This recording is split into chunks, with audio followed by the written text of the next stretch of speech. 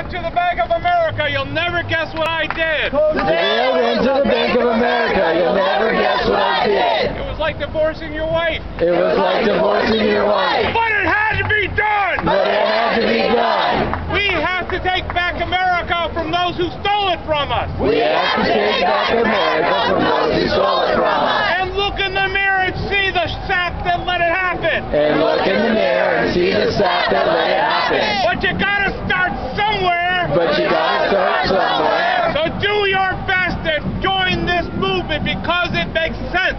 So do your best and join this movement because it makes sense. Too big to fail? Too big